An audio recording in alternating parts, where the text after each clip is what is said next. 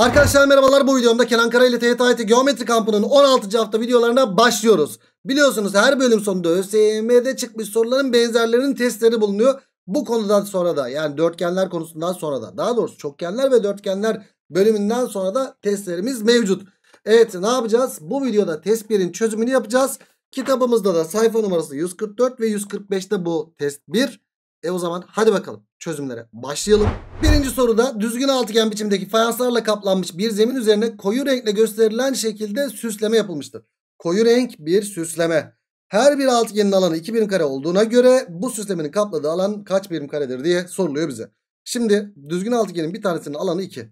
Ve buradaki altıgenlerin alanlarına bakacak olursak hep böyle yarısını almış. Yarısı olduğunu nereden biliyoruz? Şu bizim simetri ekseni değil miydi? Evet simetri ekseni iki eşit parçaya ayırıyordu. E o zaman alan 2 ise buradaki yarısı 1 diğer yarısı da 1 mi olacak? Evet. Bakacak olursak burada 1, 2, 3, 4 4 tane var. E burada da 4 tane var. Burada da 4 tane var. Yani 6 tane 4 alanı mı var burada? Evet.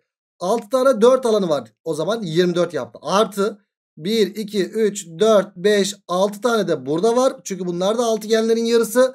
6'yı da topladığımız zaman cevap kaç yaptı? 30 yaptı. Evet cevap böylelikle Ceyhan oldu. ÖSYM kolayını sormuş. Ee, ama şunu da unutmayın isterim tabii ki. Altıgenle ilgili şöyle 1 2 3 alanla ilgili alan dağıtırken 1 2 3 kuralımız vardı daha geçen hafta yapmıştık bunu.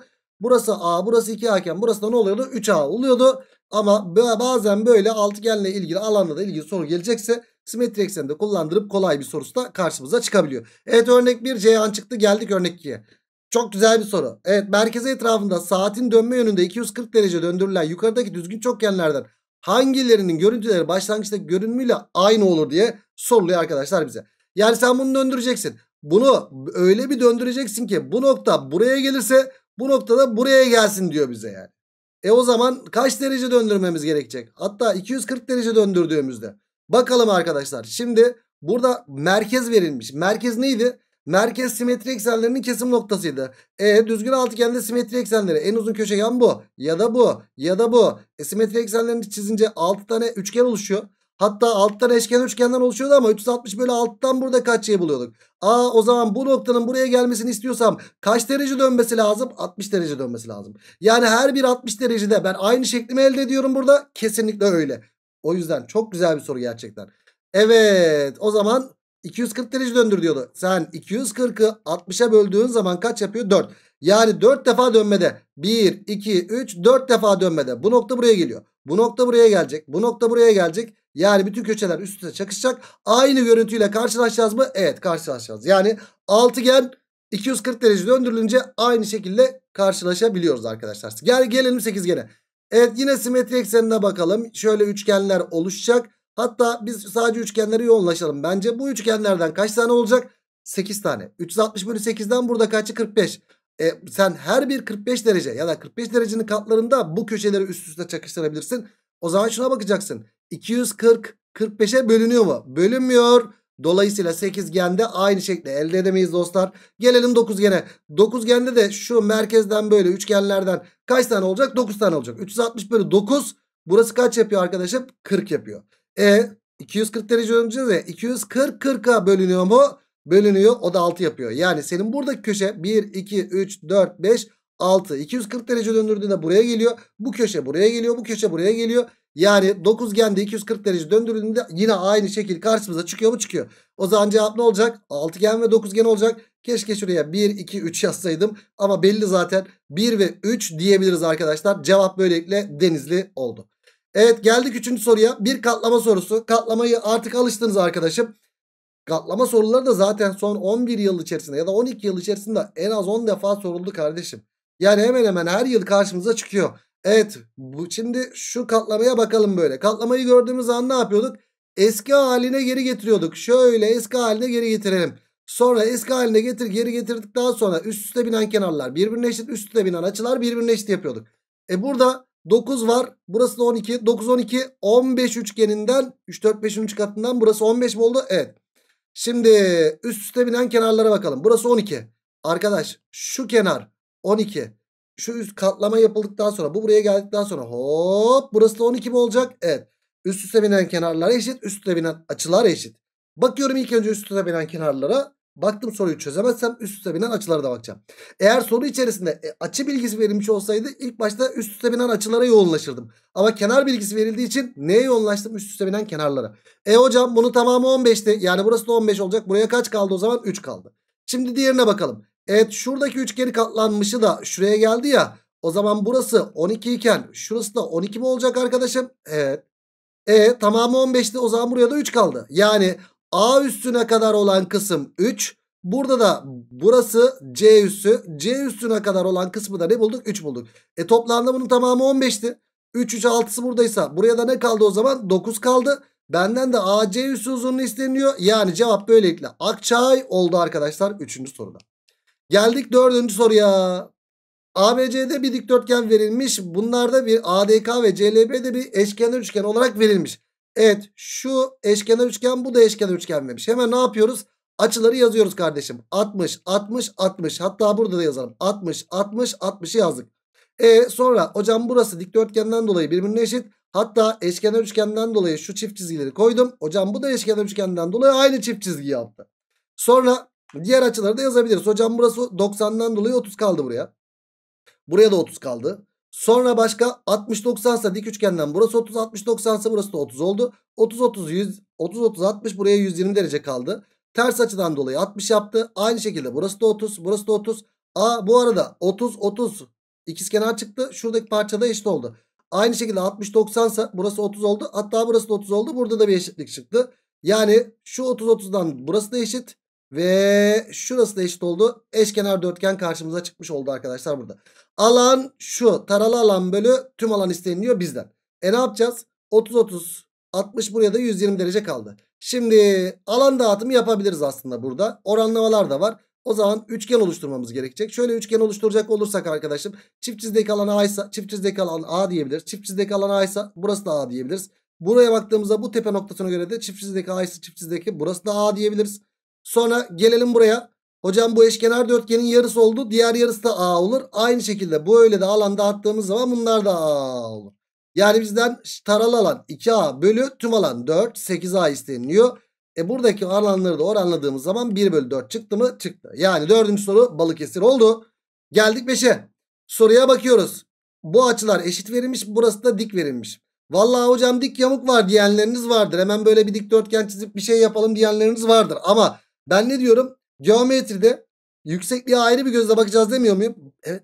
Bak bu bir yükseklik. Aa yükseklik aynı zamanda açıortay. Yani hem yükseklik hem açıortay aklımıza ne getirir arkadaşlar? İkizkenar. Yüksekliğin kollarında şöyle bir ikizkenar oluşturacağız. İkizkenar nereye doğru oluştururuz o zaman arkadaşlar? Şöyle şöyle uzattığımız zaman oluştu mu oluştu. E o zaman burası 11 ise burası da 11 olacak. Buraya ne kaldı? 5 kaldı. Bu arada neresi dik yamuk verilmiş? BCDE. Evet şurası dik yamuk verilmiş. E bu dik yamuk verilmişse o zaman dik yamuk verilmiş. Burası 90 ise burası da nedir? 90 derecedir. E sonra başka bir şey var mı burada? Var. Bizden ne isteniyor? X isteniyor. Buna göre X. BC uzunluğu X nedir diye soruluyor. Arkadaşlar burayı 5'i bulduk zaten. Şuraya bakın bir temel orantı var mı? Var. Boşu boşuna şuna yamuk demedi. Yamuk demesinden dolayı bunlar birbirine paralel mi? Paralel. E burada paralelliği kullanabiliriz. 5'e 6 oran var. Yani burası 5K ise burası nedir? 6K'dır. E sonra ne yapacağız hocam? 6K eşittir 3 ise o zaman burası da ne olacaktır? 5 bölü 2 olacaktır. Yani 6K eşittir 3 ise şöyle yazayım istersen 6K eşittir 3 ise K buradan 3 bölü 6 yani 1 bölü 2 çıkar. E 5K'da o zaman 5 bölü 2 olur. E sonra burada ne yapacağız? Pisagor. Hadi yapalım. Hocam 5 var 5 bölü 2 var. Yani burada zaten özel bir üçgen olduğu belli mi belli. Ne üçgeni? 90'ın karşısı 5 iken hangi açının karşısı 5 bölü 2'dir? 30'un. E o zaman burası da 60 oldu. E 30'un karşısı 5 bölü 2 ise 60'ın karşısı da ne olacaktır? X de 5 bölü 2'nin kök 3 katı olacaktır. Yani cevap ne oldu o zaman? Cihan oldu arkadaşlar. Beşinci soru Cihan oldu. Geldik altıncı soruya. Şekil 1'deki ABCD karesi biçimindeki karton LK doğrusu boyunca kesilip küçük parça atıldığında şu parçaya atmışım şöyle bir şey elde etmişim. Kartonun alanı 1 bölü 6 oranında azalıp çevresi de 6 santimetre azalmaktadır. DL eşittir LA olduğuna göre yani şunlar birbirine eşit olduğuna göre Kenan Bey uzunluğu x kaç birimdir diye soruluyor arkadaşlar bize.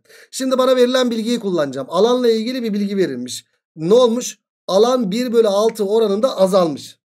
Yani burası A iken diyor sana Tüm alan burası ne olacak o zaman? Yani şöyle diyelim aslında. 1 bölü 6 arasında azalıyor ya. Yani hocam bu karenin alanına 6A dersem 1 bölü 6'sı kaç yapıyor? A yapıyor. A'yı azalttığım zaman ne yapıyor? 5A yapıyor. Bu alan 5A olacak.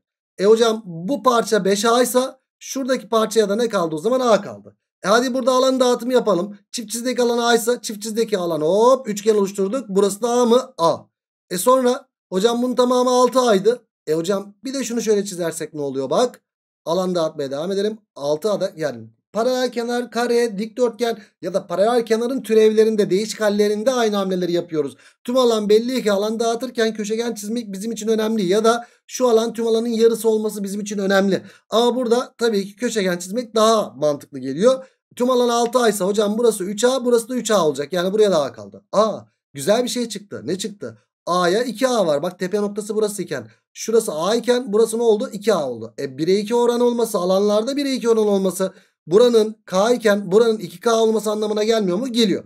Hocam buraya 3K yazdık. E burası da 3K. 3K bölü 2 ile uğraşacağız. Bence 2 katını alalım. Buraya 2K diyelim. Buraya 4K diyelim. O zaman ne oldu arkadaşlar? Burası 6K iken 6K burası. Şunlar da 3K. 3K oldu. A 3 4 5 üçgeni. Yani burası kaç oldu? 5K oldu. Evet X dediğimiz 2K. Şurası 5K oldu. 3 4 5 üçgeninden. Burası 3K. Burası 6K. Burası da 6K değil mi? Evet. Şimdi alanın azalmasını kullandık. Çevresi de 6 santimetre azalıyor diyor. Arkadaş şimdi çevresine bakalım. İlk baştaki çevresi neydi? Bir kenar 6K ise bunun çevresi 24K değil midir? 24K'dan şunun çevresini çıkarttığım zaman 6 santimetre oluyormuş. Çünkü çevresi ne oluyor? 6 azalıyor. Ya da bunun çevresi eşittir. Bunun çevresi artı 6 diyebiliriz. Öyle diyelim istersen. 6 azalmış demiş ya. O zaman 24K çevresi bunun çevresi artı 6 olacak. O zaman 6, 12, 15, 20, 22. Yani 22K artı 6'ya eşit olacak. E buradan 2K eşittir 6'dan K'yı da kaç buluruz? 3 buluruz. Evet K 3 ise X isteniyor bizden. Yani 2K isteniyor bizden. K yerine 3 yazarsam cevapta kaç çıkar? 6 çıkar. Mükemmel bir soru arkadaşlar. Bakın benzerini ÖSYM sormuş. Ama ben ne yaptım? Çakallık yaptım. Ne yaptım? ÖSYM klasik şeklini sormuş. Ben sana yeni nesle çevrilmiş halini sordum sorunun. Yani şu şekilde bir, bir, bir yani tam böyle ÖSYM'nin bu aralar soracağı soru tipine dönüştürdüm. Ya süper bir soru. Gerçekten çok süper bir soru. Çok hoş bir soru. ÖSYM böyle soruları sever. Lütfen bu soruya dikkat et. 2024 tayfa hatta 2025. 2024'te çıkmazsa 2025'te çıkacak. Ya da iki, en fazla 2026'da. Bu mantıkta bir soru çıkacak. Ama paralel kenarda ama dikdörtgende ama karede nerede çıkar bilemem. Ben bunu dikdörtgene uyarlanmış pardon kareye uyarlanmış halini anlattım. Gerçekten güzel bir soru. Çünkü ÖSYM alan dağıtmayı da böyle seviyor arkadaşlar. Ya o yüzden şuna kızıyorum bak sohbet ediyorum ama bir kendimi büyüteyim. Ya vay efendim işte alan müfredatta yok. Arkadaş müfredatta yok da bununla ilgili soruları niye soruyor ÖSYM o zaman? Yani üçgende üçgen bilgisini kullandığınız için arkadaşlar burada da üçgendeki alan dağıtma olduğu için aslında bu tür alanla ilgili sorular dörtgenlerde geliyor arkadaşlar. Çok fazla o tür şeylere bence inanmayın. Dörtgenlerde de alanları öğrenmeye devam edin tamam mı? Evet 6. soruyu böylelikle bulduk. Sırada 7. soru var. Hadi bakalım 7'ye şöyle bir bakalım. ABC'de paralel kenar demiş. Evet şimdi arkadaşlar şu soruya baktığımız zaman aslında bir özellik sorusu. Özellik böyle paralel kenarda hani dışarıda bir doğru olduğunda karşılıklı köşelerden çizilen uzunlukların toplamları şeklinde oluyor ya. Yalnız ÖSYM öyle bir soru sormuş ki özelliği bilen de yapsın bilmeyen de yapsın. Ben sana ilk etapta bir özellikle yapacağım bunu. İkinci etapta da özelliksiz halini anlatacağım. Çünkü her iki durumunu da görmeni de isterim. Evet ABC'de bir paralel kenar demiş. Burada yukarıdaki düzlemsel şekilde paralel kenar verilmiş burası. Şurası 8 verilmiş. E, karşılıklı kenarlar birbirine eşit olduğundan burası 10 olacak. 8 10 ne üçgeni? 6 8 10 üçgeninden burası 6 mı oldu? Evet. Sonra A ile C köşelerinden EF doğrusuna inilen dikme ayakları E ve F noktalarıdır. Buna göre diyor D noktasında EF doğrusuna olan uzaklığı isteniyor. Arkadaşlar bizden şuradaki uzaklık isteniyor. E ben şunu biliyorum. Herhangi bir doğru paralel kenarın dışında verildiği zaman karşılıklı köşelerden çizilen uzunlukların toplamları birbirine eşittir. Yani 6 artı 5 hemen yazıyoruz 6 artı 5 neye eşit olacaktır? Şu D köşesinden ve B köşesinden çizilen dikmeler ya da paraleller toplamı diyoruz. 10 artı B köşesinden çizilen de zaten uzaklık 0 oluyor üzerinde olduğu için. 10 artı 0 olacak. X'i de böylelikle kaç buluruz arkadaşlar? Aa, bu 10 değil ki pardon. Şurası X. Şu 10. Tabi bizden bu isteniyor. 10 olarak ben şurayı yazmıştım arkadaşlar. Şu uzunluğu 10 olarak yazmıştım. Karıştırıyordum neredeyse. Yani X artı 0'a eşit olacak. O zaman X buradan kaç çıktı arkadaşım? 11 çıktı. Cevap Ceyhan oldu. Ama farz edelim unuttunuz. Sınav anında aklınıza gelmedi. E ne yapacaksınız? Şimdi çizdiniz bunu. Tamam bunu unutun. Bunu unutun. Formül aklınıza gelmedi. Formülsüz yapacağım şimdi arkadaşlar. Dikkat edin. Bizden bu x uzunluğu isteniyor. E arkadaş şurada karşına ne çıktı? Yamuk çıktı. Değil mi? Ya da şurada karşına yamuk çıktı ama buradaki yamuk biraz sanki karışık gibi bir şey. Ee, direkt x de isteniyor bizden. Yo buradaki yamuk. İster buradaki ya çözemeyeceğimi zannettim. Bir an geri adım atıyordum. Bazen çok konuşuyoruz ya. Bak bu bir taktiktir. Öğretmenin taktiğidir. Bir öğretmen çok konuşuyorsa şahsen ben bunu çok yapıyorum. Yanındakiyle böyle soru çözerken baktım soru çıkmıyor. Öyle boş boş konuşuyorum şu anda olduğu gibi. Öyle konuşurken de aynı zamanda da çaktırmadan soruyu çözmeye çalışıyorum. Ulan buradan çıkar mı çıkmaz mı diye. Hani bir şey dedik üstesinden gelmeye çalışıyoruz böyle. Ee, biraz önce de seni oyaladım ve bu şekilde yaptım kardeşim. Çok konuşan. Genelde de matematikçiler böyle çok konuşur. İşte sırf bu yüzden. Hani konuşurken iki işi birden de çok böyle yapmayı da severiz biz. Konuşurken soruyu çözdüm aslında. Evet. İster buradaki yamuğa odaklan ister buradaki yamuğa odaklan. İlk başta şuradaki yamuktan çözeyim sonra buradaki yamuktan çözeyim. İki farklı. Bütün hallerini görün. Ben size bak soruyu ezberlettirmiyorum. Her haliyle çözmenizi istiyorum. Şimdi sen buraya baktın yamuk gördün. Yamuğu görünce ne yaparsın? E hocam yamuktaki her zaman yaptığımız hamleyi yaparız. Yani böyle, özellikle dik yamuk gördüğümüzde dikdörtgen oluşturmaz mıyız? Böyle oluştururuz. E o zaman dikdörtgen oluşturalım. E şuradan bir dikdörtgen çizecek olursak arkadaşlar. E burası 5 ise burası da 5 oldu. Buraya ne kaldı? X eksi 5 oldu kaldı. E şimdi ne yapacağız arkadaşlar? Elimde sadece şuradaki üçgen var. 6, 8, 10 üçgeni var burada. E o zaman buradaki üçgene de yoğunlaşacağız. Burada da x şey var ya o zaman buraya da yoğunlaşacaksın. E hocam yoğunlaşalım bakalım aynı üçgenler mi burada? E o zaman şöyle bir şey yapalım. Şu açılara bir dalalım. Alfa diyelim beta diyelim. E sonra ne yapacağız burada? Sonra acaba burası da alfa mı? Evet alfa arkadaşım. Çünkü niye? Niye? Niye? Şimdi senin şu çizginle şu çizgin paralel mi? Paralel. Şununla şu birbirine paralel mi? Paralel. Dikkat et. Şu iki tane okla bir ok. Bu da iki tane okla bir ok. Aynı yöndeş açı olmaz mı arkadaşlar? Olur. İstersen şunu şöyle uzatıp z'den dolayı alfa işte sonra buradaki z'den dolayı da buraya alfa diyebilirsin arkadaşlar. Direkt e, okla çift çizgi oku okla çift çizgi oku arasında olduğu için yöndeş açıdan burası da alfa e burası da beta oldu mu? Oldu. E bu üçgenle bu üçgen benzer hatta 90'ın karşısındakiler aynı olduğu için eş üçgen çıktı. O zaman burada alfanın karşısı 6 ise alfanın karşısı burada da 6 yapar. Yani x eksi 5 eşittir 6 ise x'i de böylelikle kaç buluruz? 11 olarak buluruz. İkinci bir çözüm yöntemi de bu. Üçüncü çözüm yöntemi de mesela şurayı yoğunlaşalım. Hadi hepsini silelim yine. Anlayın arkadaşlar. Anlayın ezbere geçmeyin. Bunlar vakit kaybı değil. Senden bu isteniyordu. E sen şimdi bunu çizince hocam şuradaki x isteniyor bizden. Sen mesela şuradaki yamuğa yoğunlaştın. E buradaki yamuğa yoğunlaşırsan o zaman ne yapacaksın? Buradaki yamuğa yoğunlaşırsan da o zaman şu hamleyi yaparsın büyük ihtimalle. Hocam buradan böyle bir dikdörtgen oluştururuz böyle. Dikdörtgen oluşturduk. Tamam. Ee, bu arada biz buraya 6 bulmuştuk. Şuradaki 10'dan dolayı değil mi? Sonra hocam ne yapabiliriz burada diye düşünecek olursak. Ee, hocam şurası 6 iken burası da 6 yaptı. O zaman buraya x eksi 6 kaldı. E sonra ne yapacağız?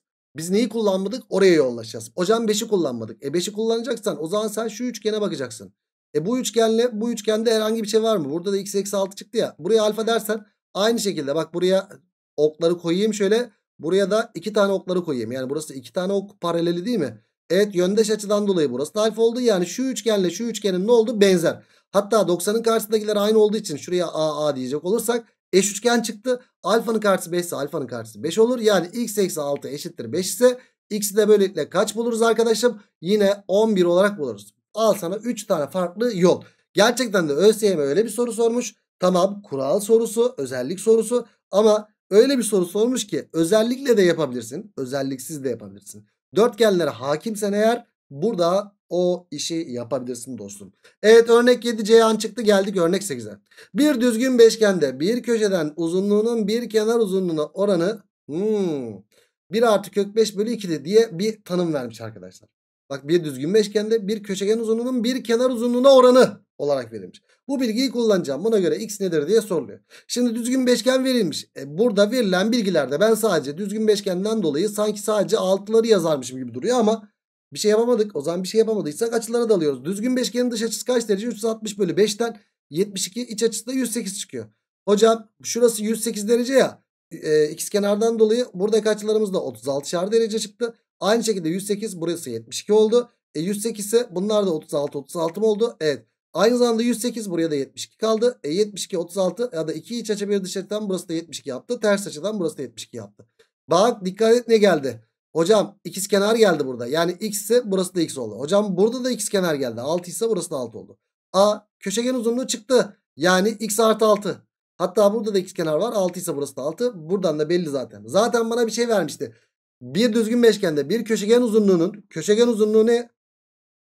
Köşegen uzunluğu x artı 6. Bir köşegen uzunluğunun kenar uzunluğuna oranı. Kenar uzunluğu da 6 değil mi? Evet. Bunu bunu oranladığında bu oran vardır diyor. 1 artı kök 5 bölü 2'ye eşitmiş. Bitti gitti kardeşim. Şunlar sadeleşti mi sadeleşti. Buradan x artı 6 eşittir. 3 artı 3 kök 5 yapar. 3 ile burayı çarptım çünkü. Buradan da x'i kaç bulduk? Ee, eksi 6 diye geçti. 3 eksi 6 eksi 3 yaptı. Yani eksi 3 artı 3 kök 5 de diyebiliriz. 3 kök 5 eksi 3 de diyebiliriz. Cevap böylelikle Akçay çıktı arkadaşlar. Normalde biz bu sorunun daha zor bir halini yaptık mı? Yaptık. Ne yaptık? X böyleyken şu bilgi verilmeden de bu soru çözülebilirdi. Bak ÖSYM de aynen bu bilgiyi verip öyle sormuş soruyu.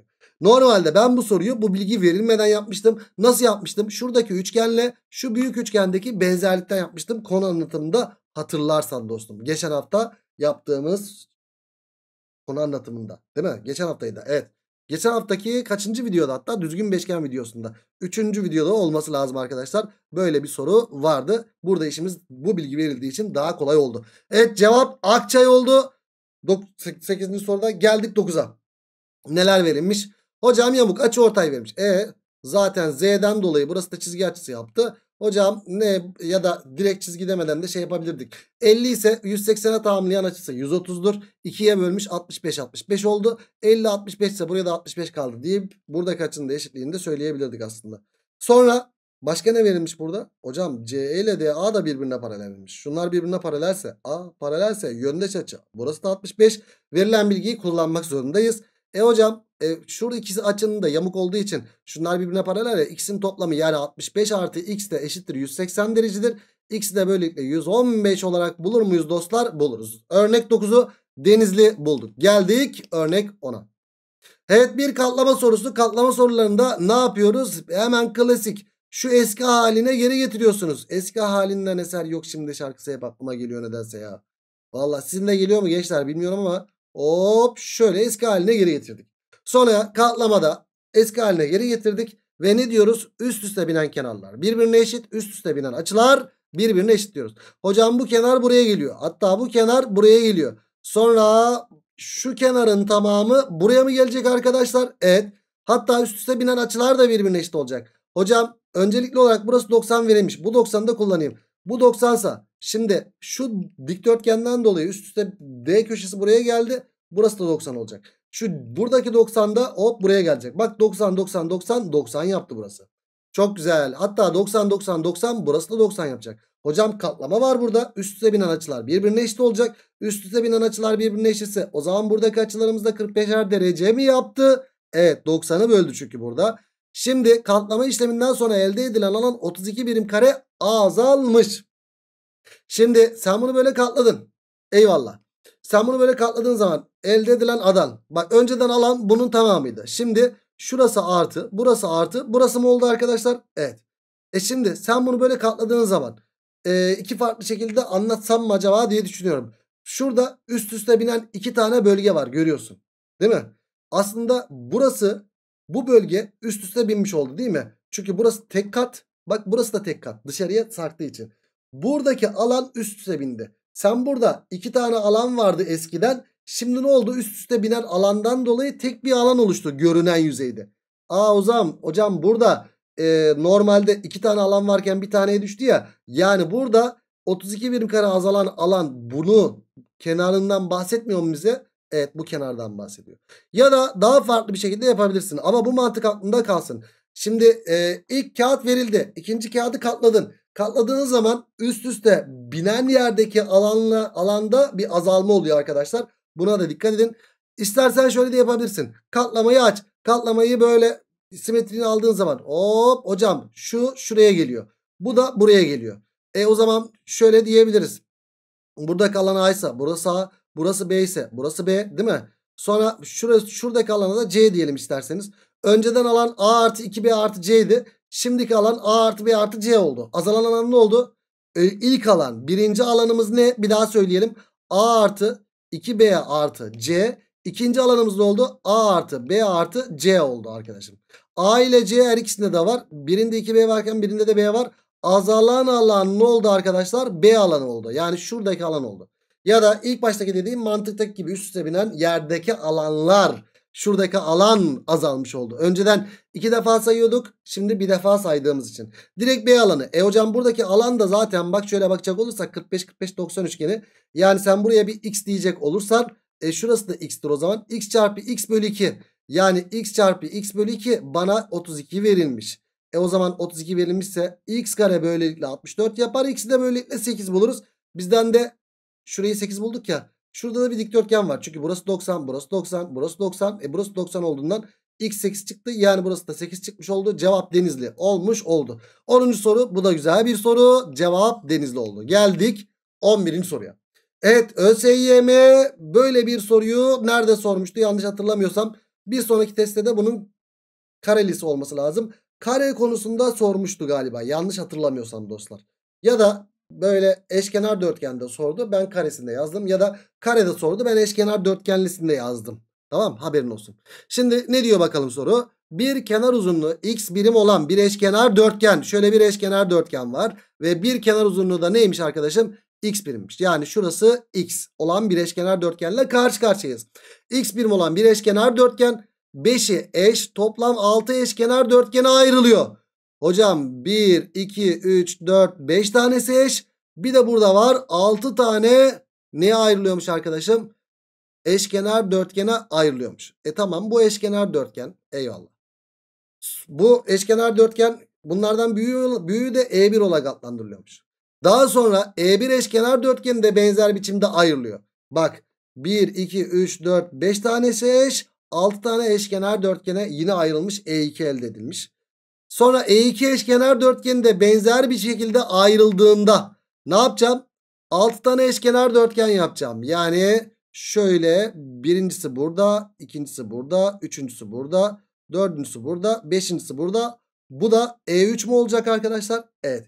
İşte böylelikle E3 eşkenar dörtgeninin bir kenar uzunluğu işte bu eşkenar dörtgenin uzunluğunun bir kenar uzunluğu 16 olarak verilmiş. Hocam burası 16, burası 16, burası da 16 ya. Bunlar da eş eşkenar dörtgen olduğu için bunlar 8 8 mi oldu dostlar? Evet. 8 8. E o zaman 8 8 8. E hocam burası kaç yaptı? 24 yaptı. Bak. Dikkat et. Bunun tamamı 24. O zaman burası 12 12 12 oldu. Aa bunun tamamı kaç yaptı o zaman arkadaşlar? 36. 36 ise 2'ye böl. Burası da 18 18 yaptı. E o zaman burası da 18 yaptı. 18 18 18 3 tane 18. O zaman burası kaç yaptı arkadaşlar? Burası da 54 mi yaptı? Evet.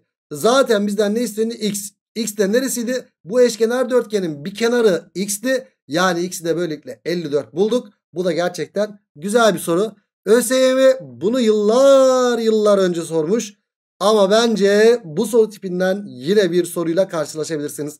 Bu mantığı görmenizi istedim. O yüzden bunu yazdım. Hatta bu soru tipiyle ilgili iki tane farklı soru yazdım. Onu da diğer testlerde zaten göreceksiniz dostlar. Evet örnek 11'de 54 bulduk. Gerçekten çok güzel sorular vardı burada. ÖSYM benzeri sorular gerçekten çok güzel. Hatta ben o bak o kareli soruyu eşkenar dörtgene çevirmişim. Onun mantığındaki soruyu da bir sonraki testte göreceksin. Bu şekilde soruya çevirmişim. Ya farklı. Yani aynı sorunun laciverti diyebiliriz gerçekten arkadaşlar. Çünkü ÖSYM de aynı sorunun lacivertini sormayı çok seviyor. O yüzden işte buradaki testler bizim için aşırı derecede önemli. Evet gençler böylelikle işi hallettik mi hallettik. Yani neyi hallettik? İlk videoyu hallettik. Test 1'i hallettik. O zaman ne diyoruz? Bir sonraki videoda test 2'nin çözümünde görüşmek dileğiyle. Kendinize iyi bakın. Hoşçakalın.